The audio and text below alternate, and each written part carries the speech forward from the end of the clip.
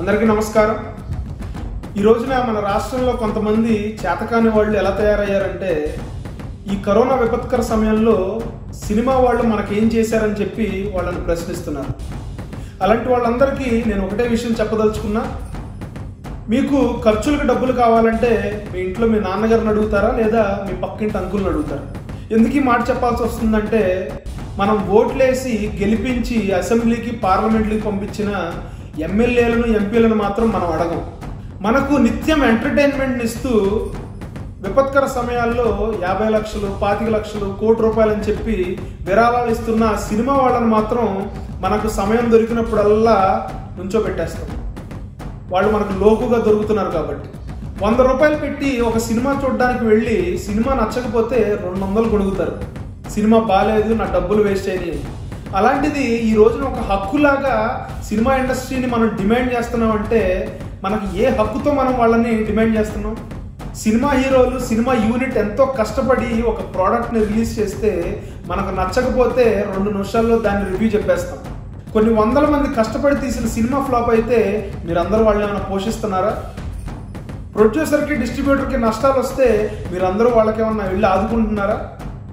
మరి ఏ హక్కుతో cinema industry మిమ్మల్ని ఆదుకోవాలి సినిమా ఇండస్ట్రీ ప్రజలను ఆదుకోవాలని చెప్పి మనం అడుగుతాం. కొంచెమైనా బుద్ధి ఉండవసరంలా విపత్తులు వచ్చినప్పుడు వరదలు వచ్చినప్పుడు సైక్లోన్లు వచ్చినప్పుడు సినిమా ఇండస్ట్రీ ఎప్పటికప్పుడు వాళ్ళ ఉదార స్వభావాన్ని చూపిస్తూనే ఉన్నారు. వాళ్ళకి తోచినంత వాళ్ళకి సాధ్యమైనంత దాన ధర్మాలు చేస్తూనే ఉన్నారు. వాళ్ళకి వీలు కాకపోతే వేరే దేశాలు వెళ్ళి అక్కడ షోలు చేసి ఆ వచ్చిన డబ్బుని ప్రభుత్వాలకు విరాళాలుగా ఇస్తూనే ఉన్నారు. ఇంకా ఏం చేయాలి?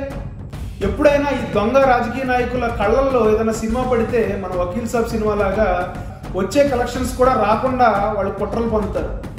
అలాంటప్పుడు హీరో గారికి ప్రొడ్యూసర్ గారికి మీరేమన్నా ఎదురు డబ్బులు వేసారా మరి ఏ హక్కుతో సినిమా ఇండస్ట్రీ మిమ్మల్ని ఆదుకోవాలని చెప్పి మీరు డిమాండ్ చేస్తారు?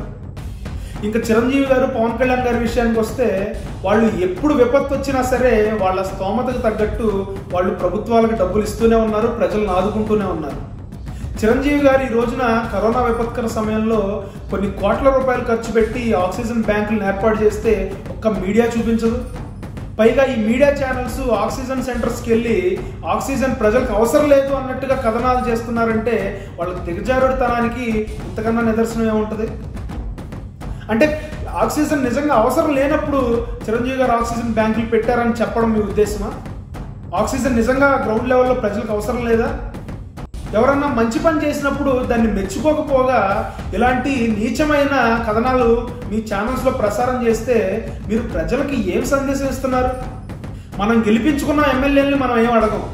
ఈ కరోనా విపత్కర సమయంలో ఫస్ట్ వేవ్లో కానీ సెకండ్ వేవ్లో కానీ ఎమ్మెల్యేలు ఎంత డొనేషన్స్ ఇచ్చారు? వాళ్ళ సొంత డబ్బులు? ఎక్కడైనా ఒకటి అరా ఇస్తే అది ఎంపీ ల్యాడ్స్లో కానీ ఎమ్మెల్యే నిధుల నుంచి కానీ ఇస్తున్నారు కానీ వాళ్ళ సొంత డబ్బులు ఒక్క రూపాయి అయినా ఇచ్చిన పాపాన పోయారా? వాళ్ళని మనం ప్రశ్నించాం. ఎందుకంటే వాళ్ళ అనుచరులు వచ్చి మిమ్మల్ని కొల్లబొడుస్తారు కాబట్టి. సినిమా వాళ్ళంటే తేరగా దొరికారు కాబట్టి ఈజీ టార్గెట్ కాబట్టి మనం ఏం మాట్లాడినా కానీ చెల్లుతుంది అనుకుంటున్నారా? ఈ రాజకీయ నాయకులందరూ ఎలక్షన్ టైంలో డబ్బులు పంచి పెడతారు మందు పంచి పెడతారు ఓటర్లను ప్రలోభ పెడతారు. కానీ ఇటువంటి విపత్కర సమయంలో ఒక్క రూపాయి కూడా వెదల్చు. ఎందుకని మీరు ఎప్పుడన్నా అడిగారా? మన ఎమ్మెల్యేలను అడగం మన మంత్రులను అడగం కార్పొరేట్ కంపెనీలను అడగం. కార్పొరేట్ సోషల్ రెస్పాన్సిబిలిటీ కింద వాళ్ళు చేయాల్సిన కార్యక్రమాలను వాళ్ళు చేయకపోతే అది ఎందుకు చేయరని అడుగుతున్న వాళ్ళకు కూడా మనం మద్దతు తెలుపం. రెండు వందల కోట్ల రూపాయలతో వైద్య వసతులు ఏర్పాటు చేస్తానన్న కార్పొరేట్ కంపెనీలు ఇంతవరకు ఎన్ని చేశాయో మీరు ఎవరన్నా అడిగారా?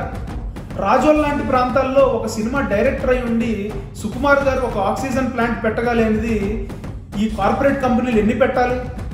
చట్టం ప్రకారం వాళ్ళ బాధ్యత కింద వాళ్ళు చేయాల్సిన అవసరం ఉంది. అలాంటి వాళ్ళని మనం ప్రశ్నించాం. సినిమా ఇండస్ట్రీ మీదకి మాత్రం ఒంటికాలమే పరిగెత్తుకుంటూ వస్తాం. ఏ రోజైతే మనం అడగాల్సిన వాళ్ళని చొక్కా పట్టుకుని నిలదీసి అడుగుతామో ఆ రోజున ఖచ్చితంగా మన రాజకీయ నాయకులకి బాధ్యత వస్తుంది జవాబుదారీతనం వస్తుంది. ఖచ్చితంగా ప్రజలకి వాళ్ళు ఏం చేయాలో అది చేసే అవకాశం ఉంటుంది. అంతేగాని ఎవరో మిమ్మల్ని రెచ్చగొట్టారని చెప్పి అడగాల్సిన వాళ్ళని అడగకుండా అక్కడక్కడ మీరు రంకెలేస్తే ఏమాత్రం ఉపయోగం ఉండదు. ఈ విషయాన్ని ప్రతి ఒక్కరూ తెలుసుకుని ఎవరిని ప్రశ్నించాలో వాళ్ళని ప్రశ్నిస్తే ఖచ్చితంగా రాష్ట్రం బాగుపడుతుందని సందర్భంగా మీకు విజ్ఞప్తి చేస్తున్నాను. జై జనసేన జై హింద్.